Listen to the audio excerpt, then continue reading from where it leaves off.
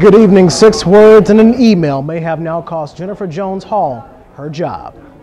Earlier this month, Jennifer Jones Hall sent an email to Student Government Chief of Staff Chris J. Taylor. It addressed the concerns of former Student Government Association President Chloe Anagnos being named Most Outstanding Senior. Many Ball State students said Anagnos didn't deserve the award because she previously owned a Confederate flag. Taylor wanted to acknowledge student complaints about Anagnos' award by sending out a statement on behalf of student government. When Taylor consulted with SGA advisor Jones Hall, she cautioned him not to publish a statement. In that email obtained by Newslink Indiana, Jones Hall said the Big Four multicultural organizations are not making comments because they are funded through the university, and so is SGA. I would be careful not to bite the hand that feeds you. Taylor sent that exchange to Ball State administrators, including President Paul Ferguson.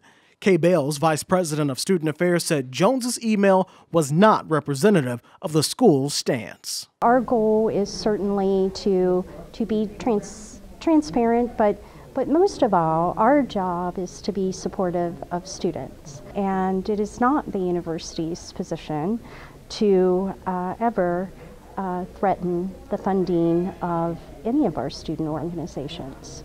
Last week, Jones Hall apologized to SGA for her comments. But today, Joan Todd with University Marketing and Communication told WCRD that Jones Hall tenured her resignation effective late Monday and that she would be pursuing other opportunities. Todd couldn't confirm that Jones Hall's resignation was connected to the fallout from her email. Reporting in the newsroom, Cameron Riddle, Newslink, Indiana.